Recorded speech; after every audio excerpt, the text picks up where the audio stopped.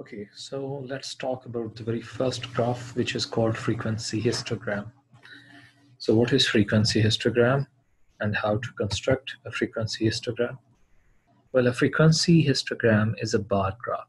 So very first thing that you need to note is that this is a bar graph. You'll see bars in this graph. And it represents the frequency distribution of a data set. So a simple frequency histogram shows frequency distribution of different classes.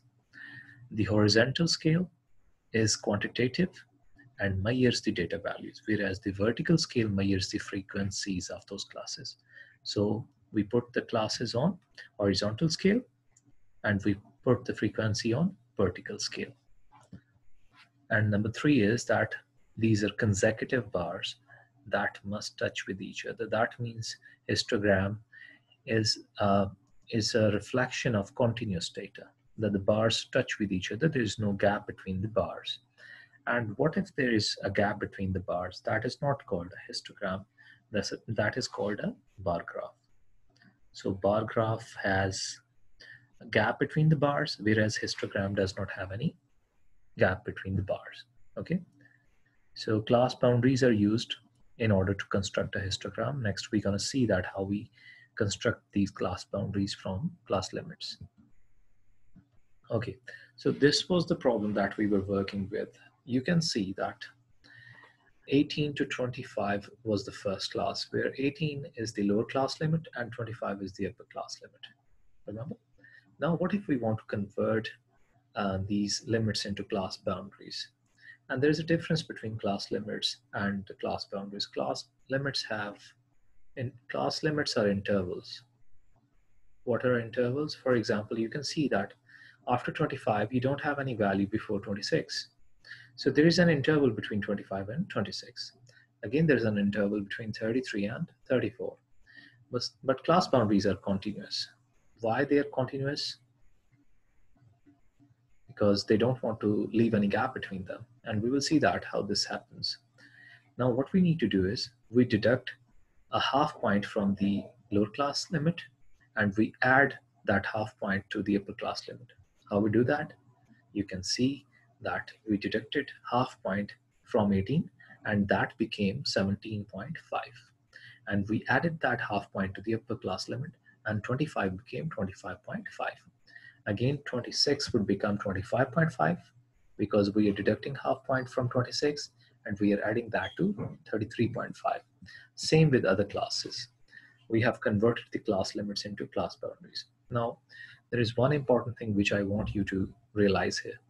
If we convert 25 into a class boundary, 25 is a number which starts from 24.5 and it goes to 25.5. But what if the number is 1.5? So remember that 1.5 starts from 1.45 and goes up to 1.55.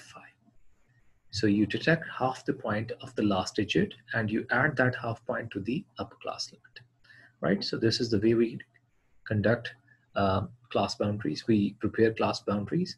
And once we have prepared the class boundaries and we have frequency, we are ready to prepare a frequency histogram. Now we're gonna draw the frequency histogram and this is how we're gonna draw the frequency histogram. First, we will draw the horizontal axis. Here we have the horizontal axis.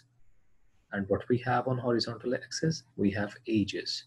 As I told you, we put classes on the horizontal axis and here the classes are about ages in years. And then on the vertical axis, we have frequency. Next is that we have to draw bars. So uh, what we have here is 17.5, 25.5, 33.5, 41.5, 49.5, and 57.5. And if you remember these points, they come from these class boundaries. So the very first class boundary, the lower class boundary of the first class is 17.5 and the upper class boundary of the last class is 57.5. Look at this graph. This starts from the lower class boundary of the first class and ends at the upper class boundary of the last class. So we have all the class boundaries on this axis, x-axis. Right. Next, we have frequency, which starts from zero and goes up to 14. why this scale goes up to 14 and why not any further. Look at the data. The maximum value here in the data is 30, which means it is one less than 14. So when we construct this frequency bar, we have to make sure that this is exhaustive, which means that it can contain all the frequency values. So the maximum frequency value is 13. So anything less than 13 should be here. So maximum value should be 13, but if we have 14, so we are trying to be on the safer side. One more thing you can see that we have divided this scale into points and each point contains two points in it. So first one is at two and next four, six, eight, and so on. So next is to construct these bars. So we constructed the first bar and the bar has a height of 13 because the frequency of the first class was 30. And you can see that this bar, this bar represents a particular class which starts from 17.5 and 20, goes up to 25.5. So you can go back to data and look at the data. The first class is basically starting at the boundary of 17.5 and going up to 25.5. So the next class starts from 25.5 and goes up to 33.5. And this thing makes it a continuous data. Okay, so the next class has an, a frequency of 8. So the height of the bar would be up to 8. Next, 4, 3, and 2. So this is how we construct bars for different classes.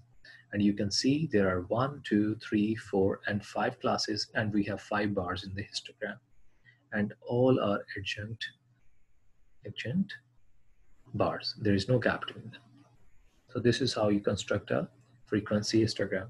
So I want to, I want to give you uh, some caution here. You have to be cautious about this. Always mention the labels of the axis. Always mention that what is on the x-axis and what is on the y-axis. Then always prepare a proper scale, right? Then always start uh, with a gap between zero and the first lower class boundary. Always have a little gap here. Okay, so these are a few questions that you can take in order to prepare a good histogram. Okay, the next graph is frequency polygon.